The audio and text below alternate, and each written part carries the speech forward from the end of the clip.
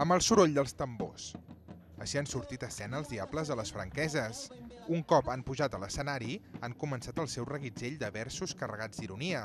Ha rebut tothom, des dels polítics o la relació amb Espanya fins a la policia local. Los unos amb la merda del Penyón i els altres amb l'estelada.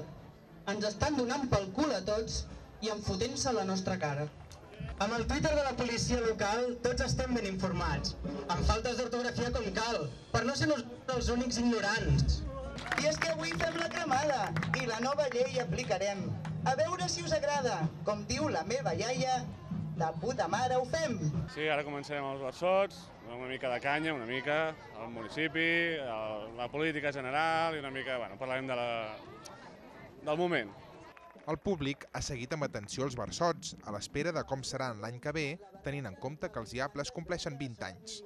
La colla ha aprofitat per, com és habitual, donar de veure als espectadors.